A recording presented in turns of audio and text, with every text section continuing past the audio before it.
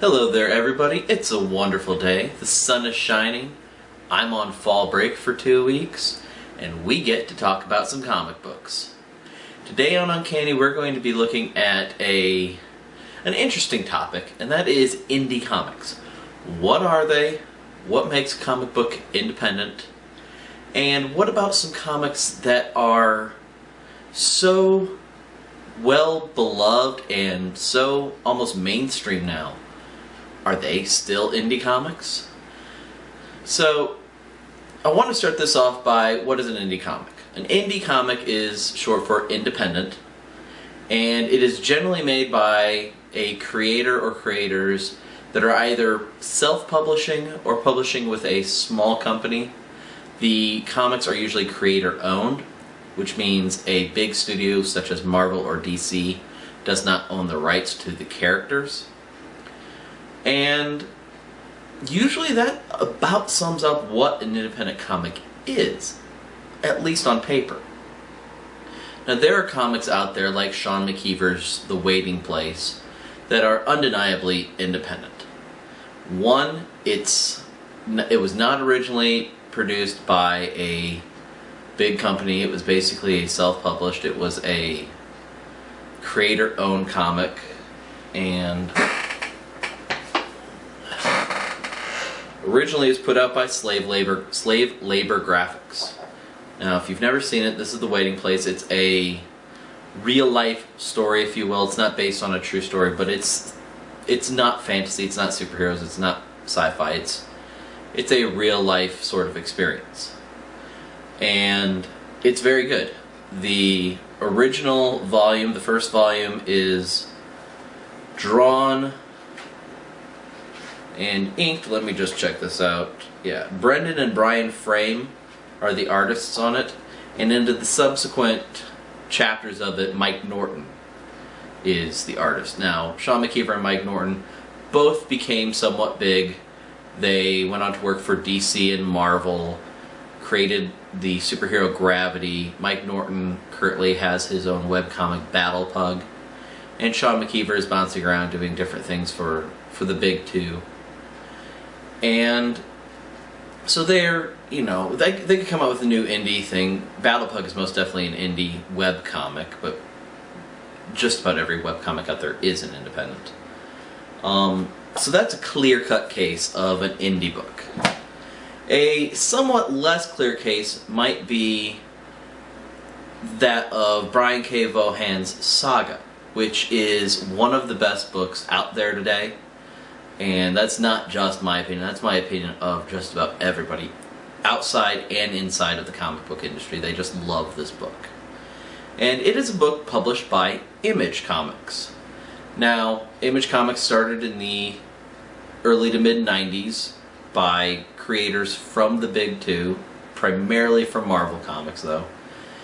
And it was a way to have creator owned books but have them be all under the umbrella of one company. So, does this umbrella mean that the books aren't independent? For a while at Image, you had a bunch of studios. You had Wildstorm, you had Extreme Entertainment, you had Aspen Comics, you had a bunch of different things, and you weren't really sure whether these were. Whether you could consider Image an independent comic company.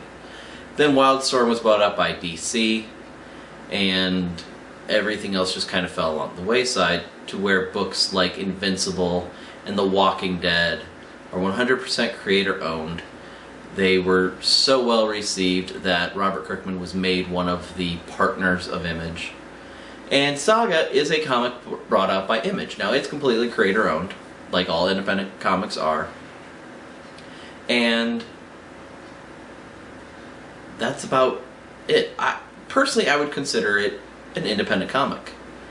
Its level of quality in writing and art and production are that of a big two company.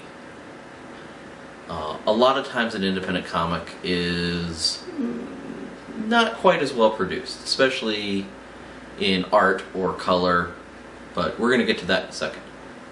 Now, the third example I'd like to make is that of the comics that are created by a studio that are not as large as the big two, that you know have creator owned stuff, but they also have a lot of licensed stuff. And specifically, I'm going to look at Boom Studios.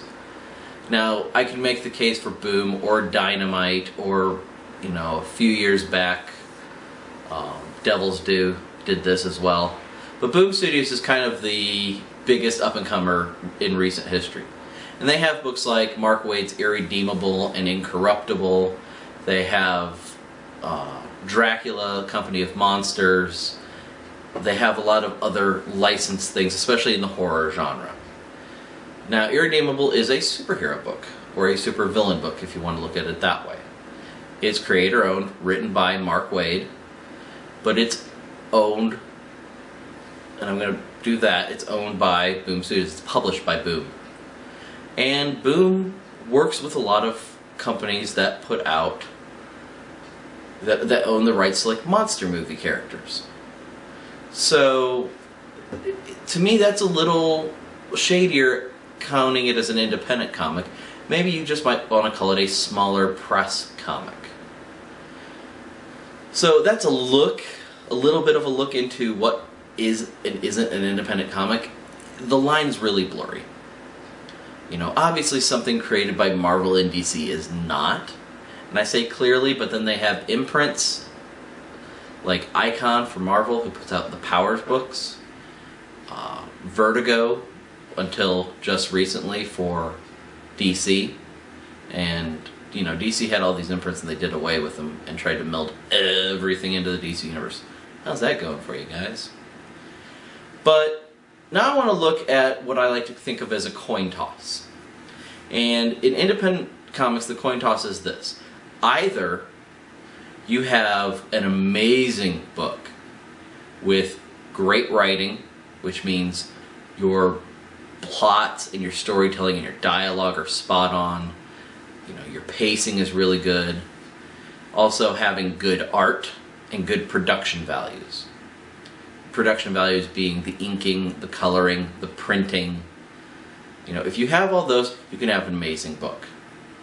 On the other hand, there are those indie comics, and this is the vast majority where something's missing. At least one thing's missing. Maybe the art's just not quite right for the style of the book. Maybe it's black and white and it just feels it feels too too indie almost. And sometimes that's a a, a good thing. Um, Jeff Smith's Bone, when that first came out, was black and white, and they've since gone back through and colored it. I have the black and white version. I love the black and white version. The waiting place is black and white, but it's got this kind of clerks vibe to it. Obviously, not the same humor or same type of story to a point, but that black and white, no shadows, no shading, just really, or no shading, plenty of shadows, but just kind of a gritty, really like purposefully independent look. Um, but I've seen comics out there that have been xeroxed and stapled together that that's a low production value you know sometimes the stories the plot might be good the dialogue might be okay to good but the the the way it's plotted out the tempo it goes at that might be slightly off maybe they go too slow in one section and rush another section oh, I've got to hit it in 22 pages. Oh, too much. And that's a trick. It, it, it's a tricky thing to get. Writers have a hard time getting their stories into a certain amount of pages without leaving things out and without sacrificing quality. So that's the coin toss. Either you have something great, like Saga, or you might have something less than great that you see you know, what I'm going to call them, these struggling artists, and I include myself in this. Um, trying to get things sold and it not working. Now, uh, a little story about that. In 2005, uh, I was part of a creators group called the Comic Creator Syndicate out of South Bend, Indiana, and we created an anthology called Syndication. Now, this was made up of about 8 to 10 page stories that were made by teams of writers and artists. And we had them professionally printed. It was black and white interiors, uh, inked and note, you know, inked, crisply done, good quality printing. We perfect bound them just like a graphic novel cover. And we have a 75 page anthology. Now, the first thing we did with this was we took it to Space, which is a small press and comics expo in Dayton, Ohio, I think. No. Cincinnati? Toledo? Somewhere in Ohio. And it's bugging me. Maybe it was Columbus. I don't remember anymore. Um, and we went there and we got an amazing spot. We were next to uh, our publisher, if you will, BuyMeToys.com, which is the comic book store that kind of kind of sponsored our group. We had our meetings there. Um, one of our members was the writer on a comic that the owner of Buy Me Toys has put out called the Oz Wonderland Chronicles. Um, he was also the writer on the Hedge Knight and the Hedge Knight 2, which are prequels to Game of Thrones, Song of Ice and Fire. Um, and so they were there, then us. I got to sit next to Sean McKeever, and then we had the big comic book company of that town having their own booth, and then the guest of honor, honor, which was Mobius.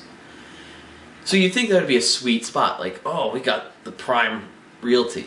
It's also right. Everybody kind of needed to walk right near us to get into everything. We got ignored. Nobody sold a book. This was the complaint we had people telling us. Our book's too professional looking. It's an indie. It's as indie as you get. It's creator owned stuff. You know, we paid to have it printed. We just didn't settle for, you know, Xeroxes and, you know, ashcan style things. We wanted a comic that we could be proud of. So here's the thing if you're an independent comic creator, if you're making your own stuff, even if it's a hobby or you're looking to break in, don't skimp. Do it right.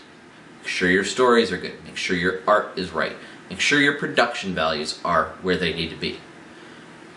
Forget what everybody else in the independent comic circuit says. If you want to make it, if you want to be noticed by many people, do it right. If you don't do it right, it's not worth doing. Now, that's it really for independent comics. Independent comics can be great, they can be lousy. Just like mainstream comics can be great or they can be lousy. If you're an independent comic creator, whether it's great or lousy, is up to you. If a book fails, there's nobody to blame but the creator. If a mainstream comic fails, there are plenty of people to take blame. So, keep making comics, keep reading comics, and until next time, this is Baka, and I'll see you guys later. Bye.